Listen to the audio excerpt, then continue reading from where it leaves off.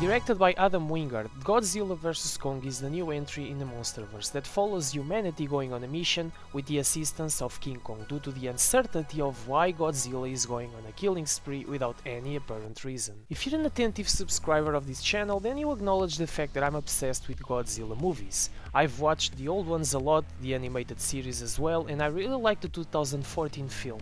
I have so many issues with King of the Monsters though, mostly because of how bad the story and the characters were and how pissed off I got when the fights kicked in, always cutting to humans messing with stuff every 10 seconds. The marketing for this movie was insane. The amount of teasers and promotional clips is something that has bothered me before with King of the Monsters. If you see those it pretty much gives you the whole plot. Even if here there's still good surprises, I try to stay away from every other trailer after the first one. Yes, I heard a lot of rumors around a certain Who present in the film, but I just turned my brain off from that.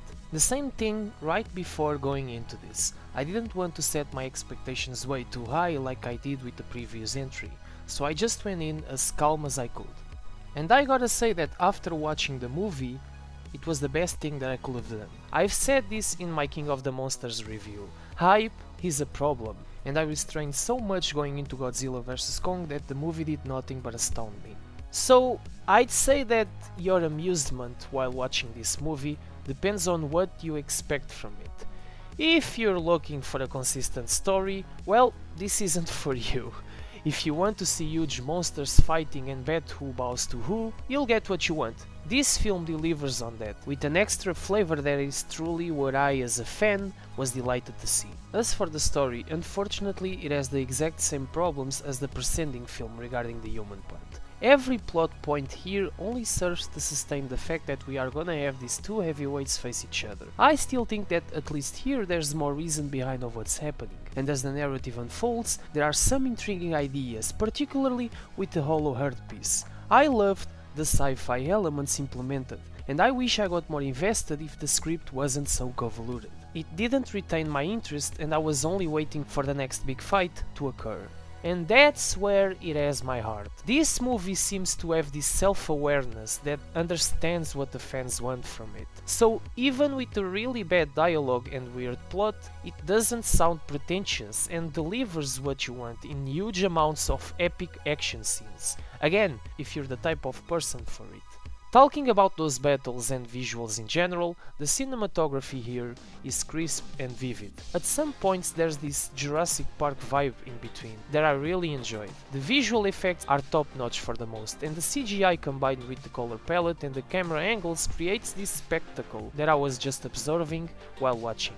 It's super entertaining and again, they hurt the fans. There's no cutting to humans doing meaningless things and then cutting back to other 10 seconds of cuddling between the monsters. Here there are entire scenes only with the monsters on an ongoing brawl and it's so well choreographed. Also, doing a lot of references to the old films, especially when it comes to goofiness. To illustrate what I mean by it, there's even a close-up of Godzilla's face while he kinda smiles. oh, it's so good. Yeah, it's that silly to an extent, and as a fan, I appreciate it.